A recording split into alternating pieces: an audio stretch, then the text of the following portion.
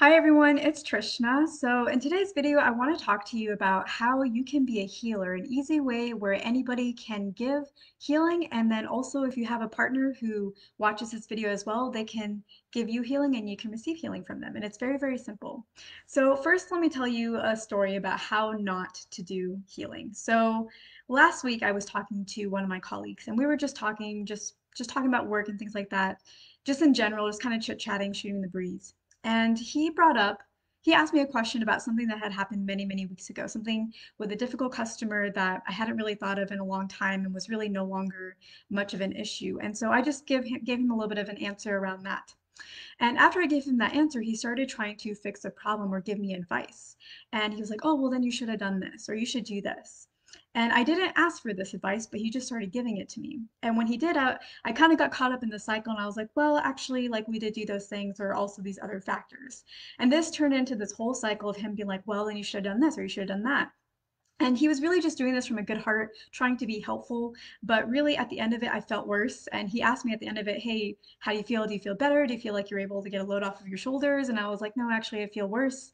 This wasn't really a problem that I was dealing with. It was, you know, weeks ago. And um, now I feel kind of annoyed, like kind of upset because I'm remembering all the things that were going on before that are really no longer a problem that I didn't really need to think up, think about again. So that is not the way to do healing. That's where when somebody is expressing something to you and and you dive in and you try to solve the problem, you try to fix it. And I know this is a very, very common thing to happen and something that I think a lot of people have talked about like for, for years, for decades. This is not a new concept.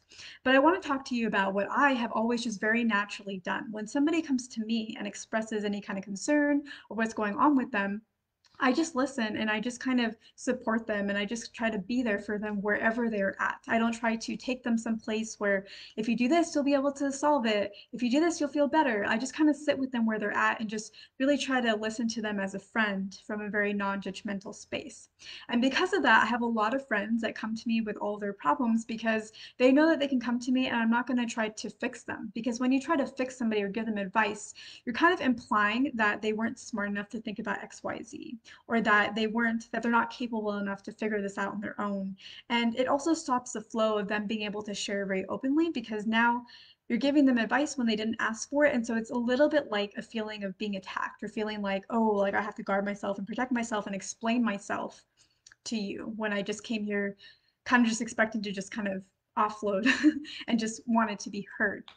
So this is a reason why a lot of people come to me, and I think why I was considered a healer way before I was actually officially a healer an energy healer. It's because I know how to listen to people and just kind of honor them where they are. And that really is the way that you can give healing to other people is be that person that just is that sounding board that just really honors people where they are and relates to them and doesn't offer advice unless you're asked for it. And if you receive advice in that conversation, you kind of ask first, hey, would, you like me to share maybe what I'm getting or some advice?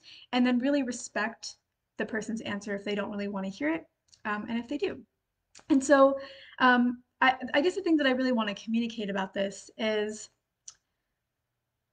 we all need to verbally process at times. And we all need to understand that we all hold the answers within ourselves. But sometimes we need to just speak it out loud to really get that clarity and train of thought so that we can find the answer within ourselves.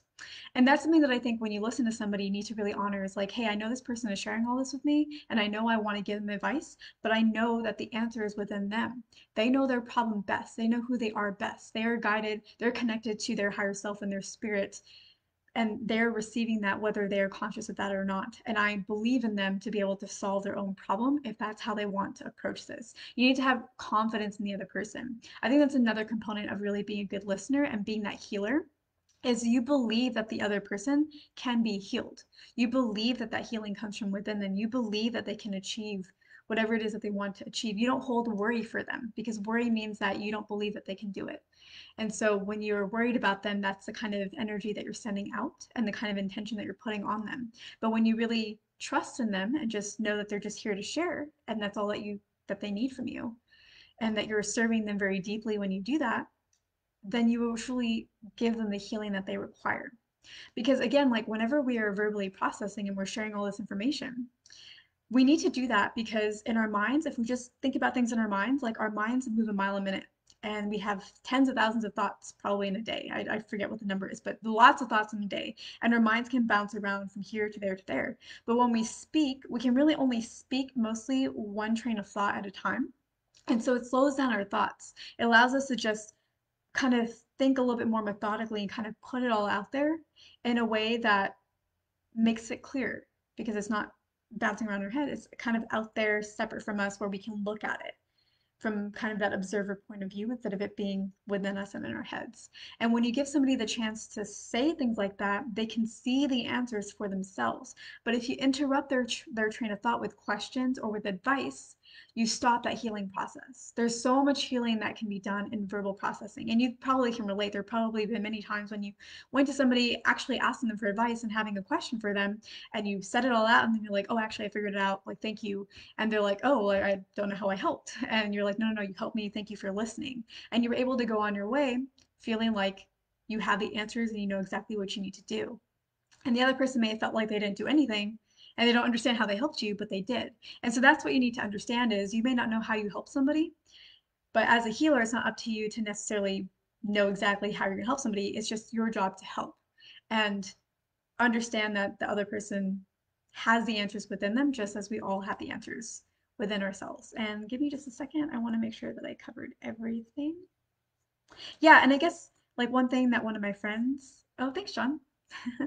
Thanks for the comment. And actually, I was just going to bring you up. So one of my friends, John, um, he told me once that a healer is somebody who isn't like actually healing the person, but rather facilitating the process of the person being able to heal themselves. And that is what you're doing whenever you're helping somebody heal as well.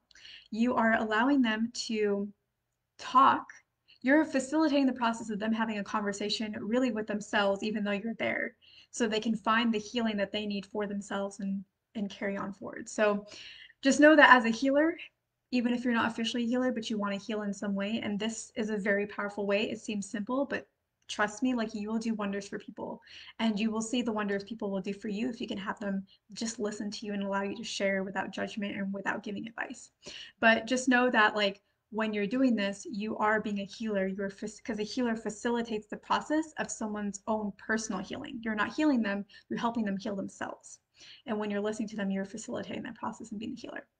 So um, that is what I had to share with you. Let me know if you try this. Let me know how this resonates with you. Have there been times in your life when you you met with somebody maybe wanting to ask them for advice and then you blurted everything out and you suddenly had the answer already and we're just like, oh, thank you and you're able to go off on your way. And you know is this something that you want to like contribute to others? Do you want to be the healer in this way for other people and kind of be that better listener? And is there somebody in your life that maybe could embody the healer for you as well whenever you need it and be the sounding board and be able to listen to you without judgment and without trying to fix you?